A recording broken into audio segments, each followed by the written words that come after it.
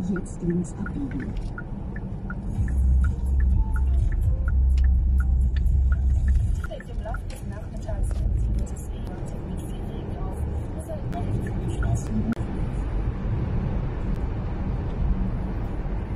In einer Solo flight ako ngayon. nächsten auf Route 25.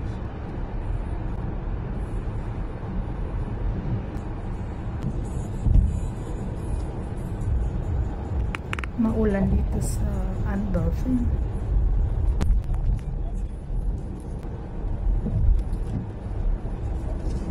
Door ni Andorfen. Hanap. Wow, ang ganda ng braids nila dito.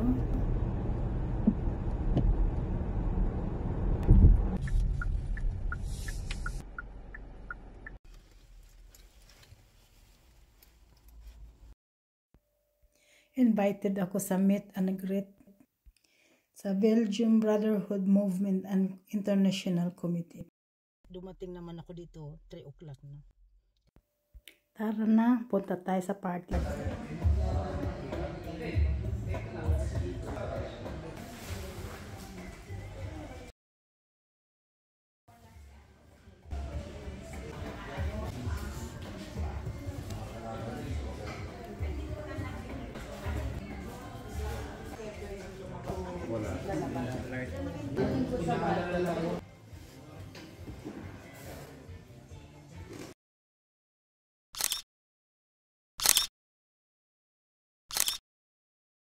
President from the Embassy of uh, London, and uh, Miss Sylvia Gabriel from the Philippine Embassy uh, of Berlin. Please give them a warm round of applause.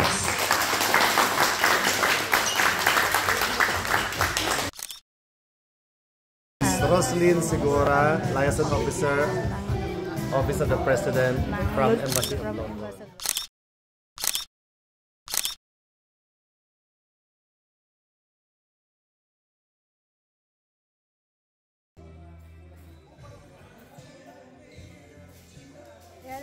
Kababayan natin. Dahil puro naman tayo Pilipino except Gino, but uh, Gino can understand Philippine language. Konti lang. Konti lang. Marami na yon.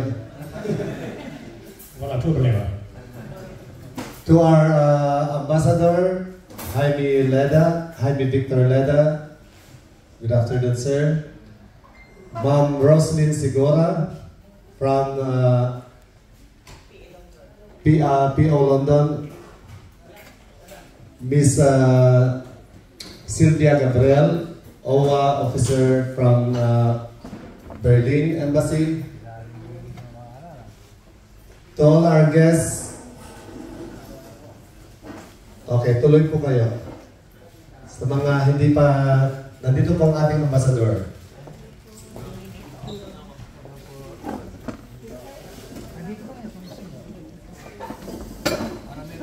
Ikinalulugod po namin kayo makasama namin at uh, pinaunlakan po ang aking imbitasyon na makasama kaming lahat. Lalong-lalo na po ang ating mga kababayan na bago pa lang dito sa Belgium. Alam ko pong napaka napaka-hectic na ngayon ah, ng inyong schedule pero binigyan nyo kami ng importansya. At ito po ay aming masasa, ah, lubos na ipinagpapasalamat sa inyo. Lalong-lalo na po ang mga galing pa sa ibang bansa from the uh, from London, from Berlin, and uh, just recently nag-confirm po si Ma'am Violeta na makakarating si Amba kaya nag-message ako sa ating group chat. At maraming salamat din sa inyo na pinaunlakan yung aking imbitasyon para makilala natin ang ating ambassador. And to start our uh, program, let us sing our national anthem.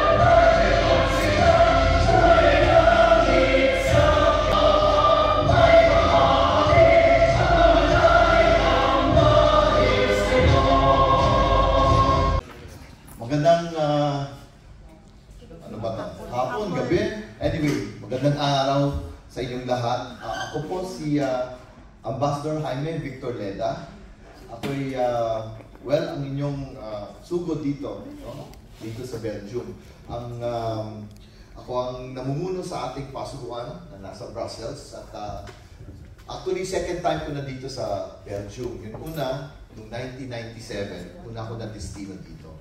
Pero I see na marami tayong bagong mga bagong dating at uh, I hope everything is okay with you at sana um, nakaabot na sa inyo ang uh, ating uh, pasubuan sa inyo at yung mga kasamahan natin sa iba't ibang serbisyo ng ating gobyerno na nandito, nanunungkulan dito sa Belgium.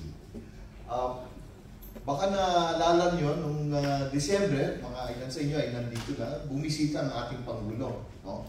At isa sa mga ginawa niya ay uh, binigyan niya ng importansya na kailangan uh, gawin ng paraan para ipagpatuloy ang uh, pag-recognize mga sertifikasyon para sa ating mga seafarers.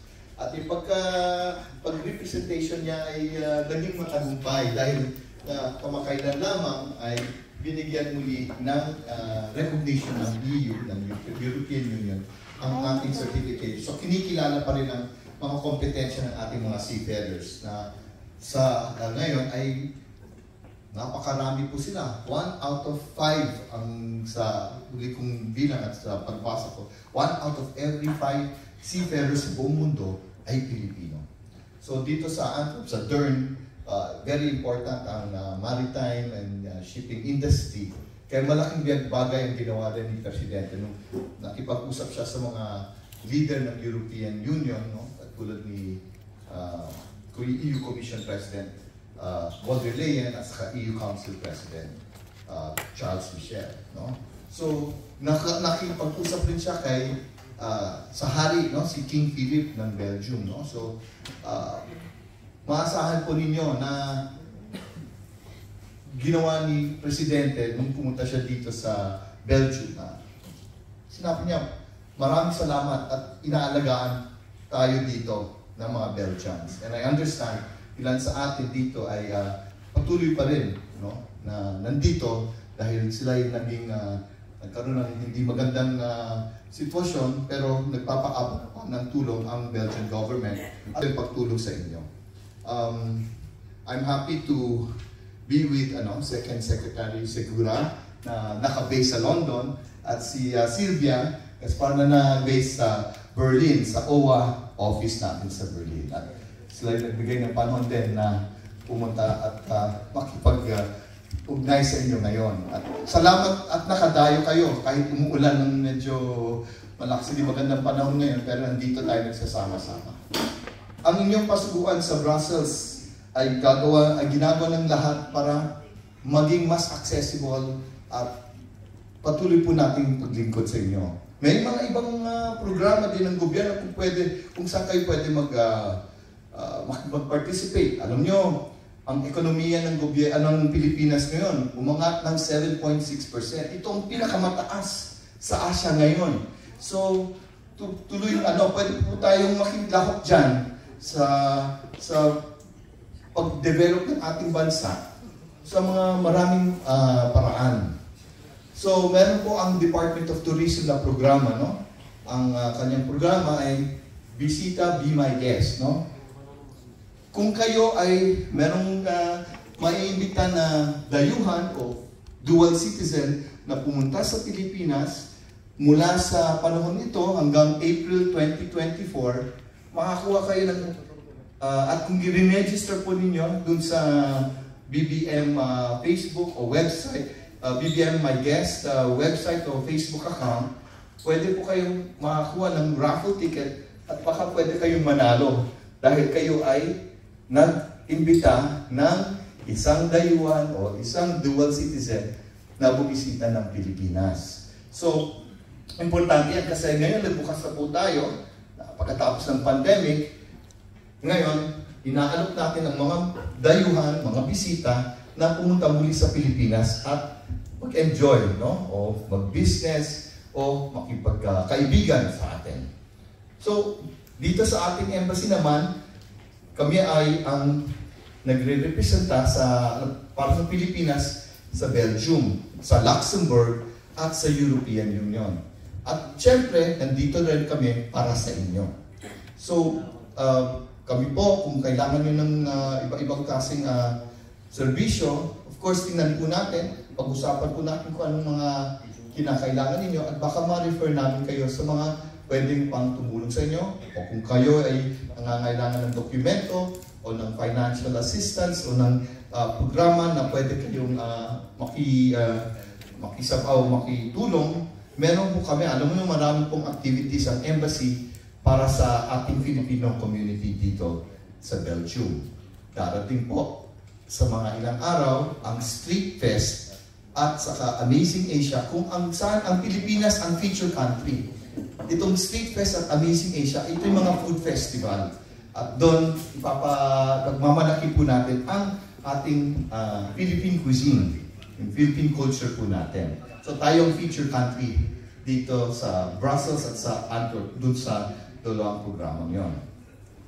Meron po tayong mga Philippine, sa Philippine Independence Day, sa DERN, tandaan po ninyo, ah, sa DERN, sa Denze, sorry, sa Denze, kung saan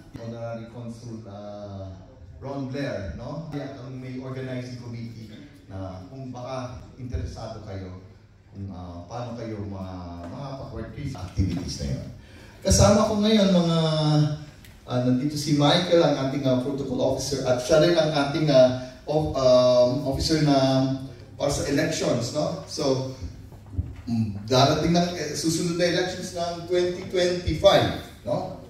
So, bubuksan ngayon, bukas na ngayon ang actually ang registration para sa election. So, kung kayo ay nandito sa Mayo 2025, at least plano ninyo, nandito kayo ng Mayo 2025, pwede po tayong mag-register sa embassy para makakuha kayo ng balota mula sa ating COMELEC. Of course, may procedure po yan, no? may fill up kayo ng mga detalye, forms, at uh, ipapang uh, information para masigurado, masiguraduhan po natin na makakaabot sa inyo ang balota at makaka-participate kayo sa ating eleksyon. So these are some of the services na rin ating, ating kasama si Ray Opiniano na, na tumutulong din sa ating consular section. At si Ray, siyang pinakamatagal sa atin yata ngayon sa tumutulong sa ating uh, mga kababayan.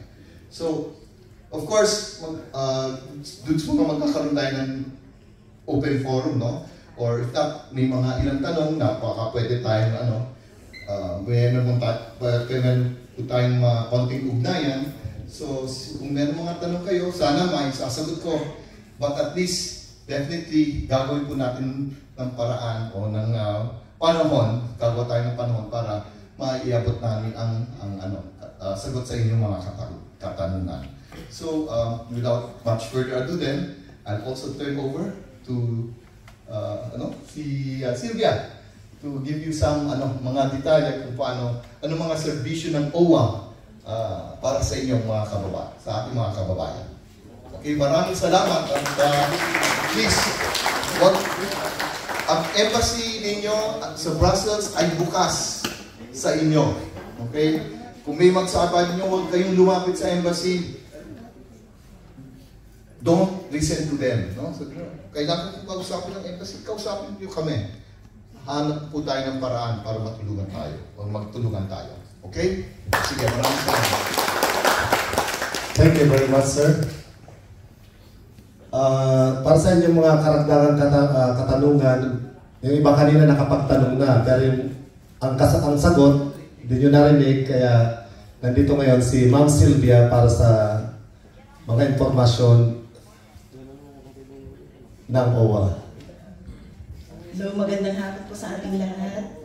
Thank you, Amba. At sa ating lahat po dito. Uh, ako po ay nandito ho. Uh, sumas ako, galing po ng Germany na sumasakop din sa Belgium, uh, Netherlands at Russia ho ang hawak namin and also Luxembourg. Okay? So, ang aking di-discuss po about, about sa OWA. Ang OWA ho, base dun sa ating record, ang Belgium po ay eh, medyo, medyo konti pa ho ang member. So, nais ko po sana i-share sa inyo ah, itong mga serbisyo ng OWA. Okay, ang OWA ay Overseas Workers Welfare Administration. Ito po ay uh, uh, agency na naatasan para sa pangangalaga ng ating manggagawa, pati na rin ang pamilya sa Pilipinas. Okay? Ito ay nakatats siya sa Department of Migrant Workers na dati po itong DOLE, kaya na, na nagkaroon ng batas na na-create po ang ating DMW para sa ating mga migrants.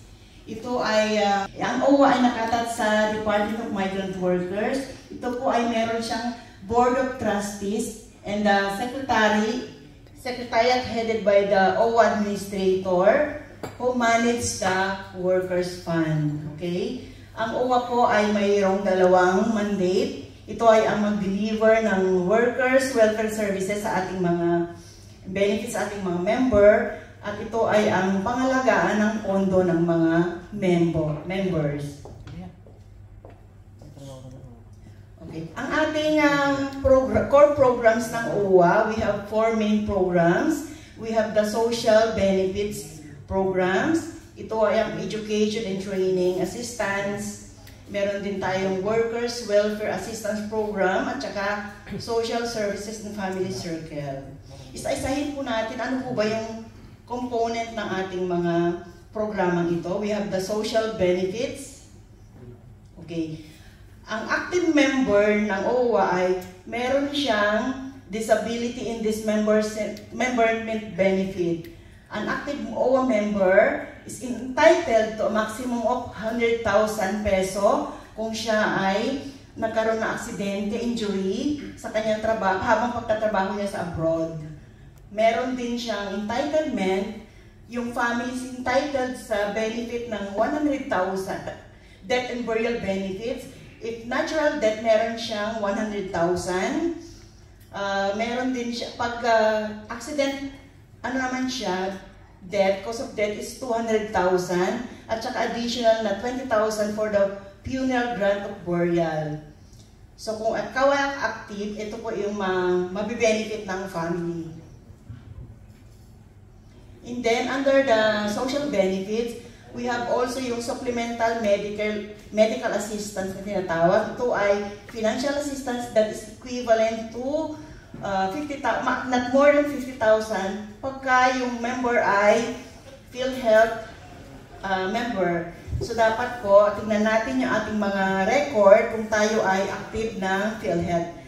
So dapat ma maging ano siya, active member and PhilHealth member for you to be entitled dito sa supplement. Tayo tinatawag na Workers Welfare Assistance Program. Ito ay sakop din niya ang in case na pag may mga calamity sa sa Philippines, so ating family ay entitled sa calamity assistance. And then we have the bereavement assistance. Ito po ay ang mga pwedeng ma-benefit pag may nangyari sa sa members, so mga entitled din po ang inyong family. And then we have the medical assistance. So pag may nangyari din mga sakit-sakit, so pwede rin mag-claim ang member ng medical assistance. We have the relief assistance. Ito yung mga cost ng mga nawala ng trabaho o yung napauwi. Pwede siya mag-claim. And then... Hi, sir. Bye. Bye-bye. Nice to meet you, nice sir. to meet you. Okay. Okay. Pagbigyan si Kuya Ray ng buyos. Ano mga yung buyos din? Buyos, buyos. Bye-bye. Okay, balik na tayo sa officer from the Office of the President based in uh, London.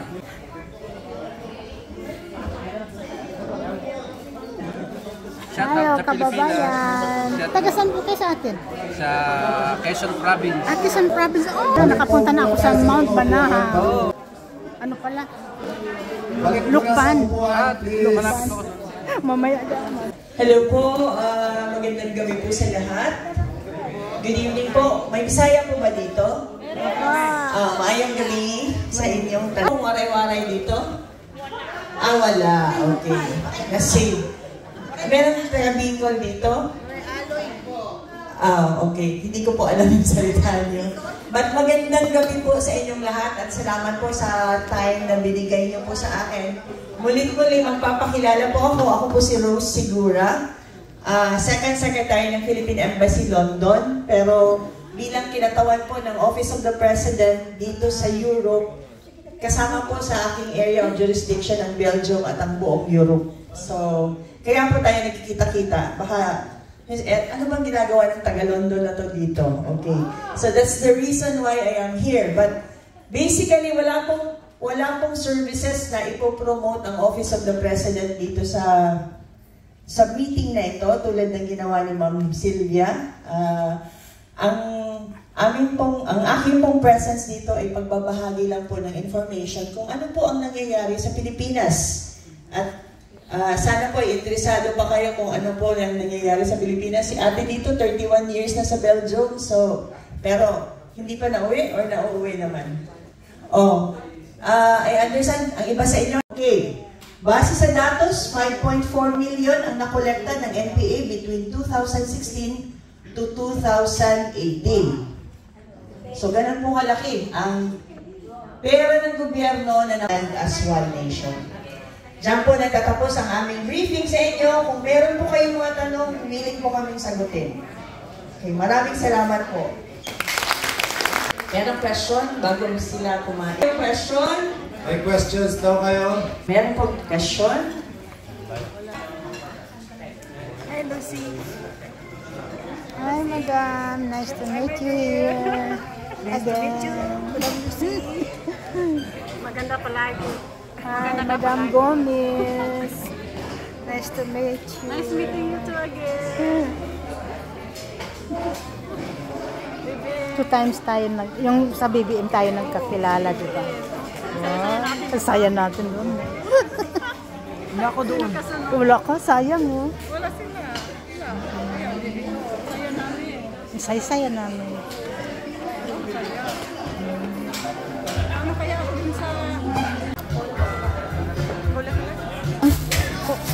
Kulap.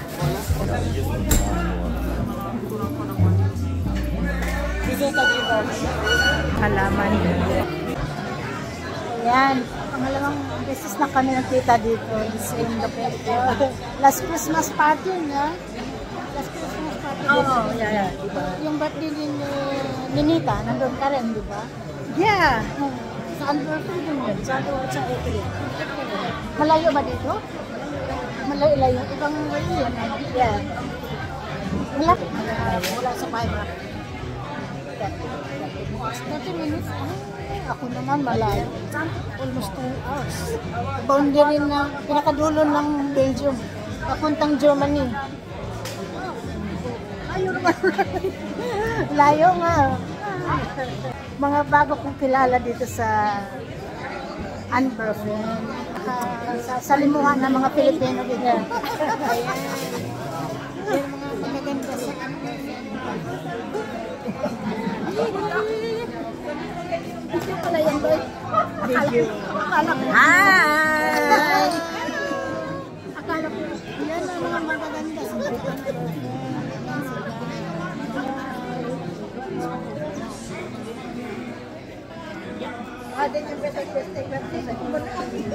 Kumusta na, Day?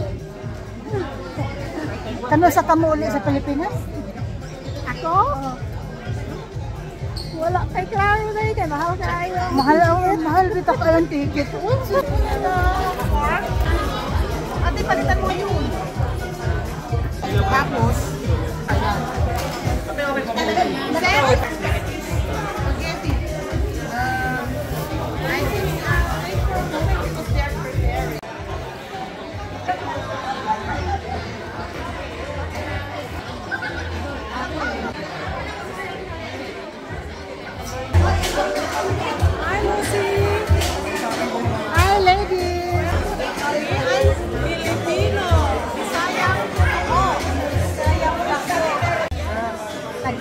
naman kami ni Madam. Good morning. Um, Madam Lucy. partner in Opa. Team Laagan. Mga ang mga Laagan. Laagan. Kahit saan ang party ni Dinan S na nanonood kami. Kasi, ano siya, magaling siya kumanta. Oh, thank you. Magaling ka rin camera woman. thank you. Um, mamaya kanta ko. Sabi ng, sabi ng taga Malacanang, pakantahin mo ako. Um, kasi ano yung sa ambassador ng Berlin. Sa Berlin. At saka yung sa Hinanap ah, Lon- ko, London. Hinanap ko si Beth. Bin, ano, nag-chika nga kami. Nag-chika. Mantel ka kasi. Tanggalin ko to, gusto mo? Doon kami magpapil. Kasi mayroon na kaming picture doon. Doon ka sa likod nila.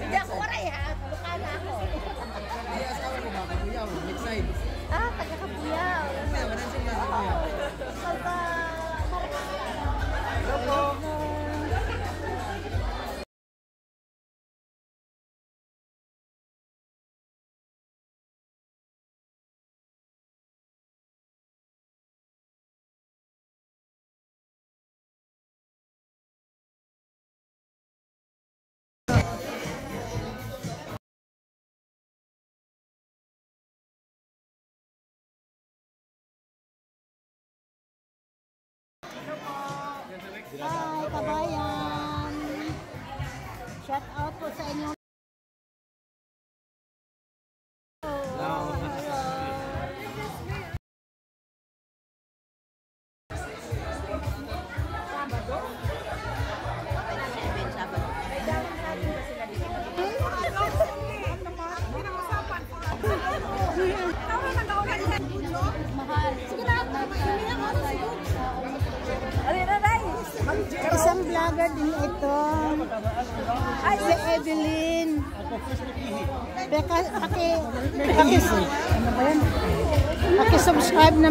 kanyang ano, vlog. Thank you, Lucy. Thank you.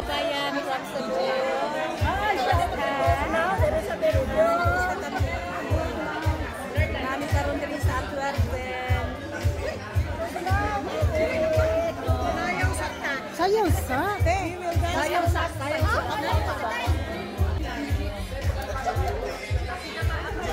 Para kang Chinese. 안녕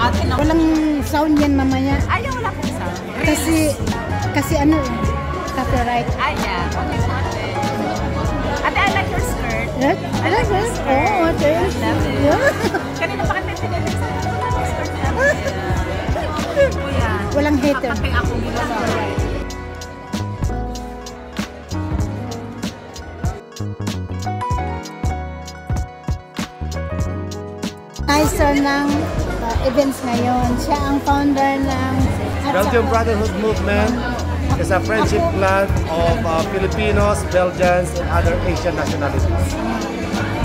Ako, OFW ikaw din. Ako yan. FW uh, Belgium chapter. Ako rin ang appointed ni Dr. Chi na president.